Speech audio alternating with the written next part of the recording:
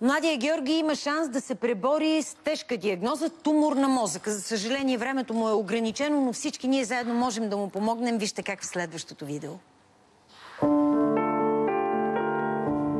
За повечето от нас младостта е време за преследване на мечти, за смели действия и за безкрайни срещи с приятели. Но младостта на 23-годишния Георги Христозов е изпълнена с болка и препятствия. Всичко започна в началото на септември. Той имаше оплакване от силно главоболие, започна да повръща, а, ходи на лекар и в крайна сметка се установи, че след направен скенер, че има тумор в мозъка. И заминахме за София, където беше извършена операция. Не можаха да изчистят целият тумор. Пет дни след това направи гърче, се наложи втора операция. Следствие операцията дори имаше пареза в левите крайници.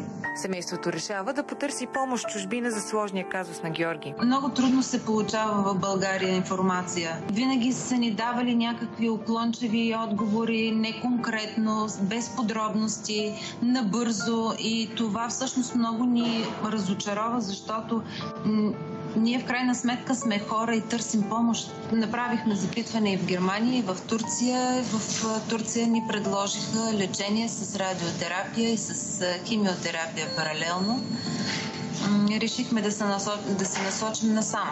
След направен ядрено-магнитен резонанс в турската клиника се оказва, че в мозъка на Георги се натрупва течност, която трябва да се отстрани оперативно, преди да се започне с радиотерапията.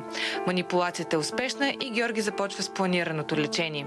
За момента всичко се развива добре. Момчето може даже да прави по няколко крачки и самостоятелно. Въпреки това семейството е притеснено, че няма да успее да се справи с големите разходи по лечението му. Крайната оферта към момента е 38 000 евро, като химиотерапията отделно се закупува, тя не е включена в тази цена. Половината сума горе-долу е платена, остава другата половина. До 15 декември трябва да предвидим цялата сума. Много е трудно да гледаш детето как усещаш се безсилен. Искаш да помогнеш всякак. Към момента просто мечта е да да се върне онова ежедневие, което е имал преди.